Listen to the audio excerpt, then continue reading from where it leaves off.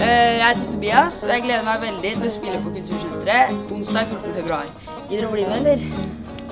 Får jeg lov til det, altså? Selvfølgelig. Å, da gleder jeg meg! Ja.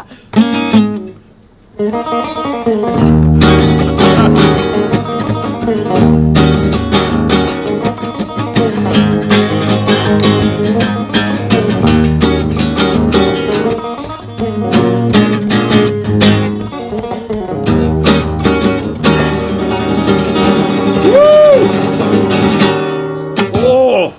blir kjempestas! Fantastisk. Herregud. Kjempetalent.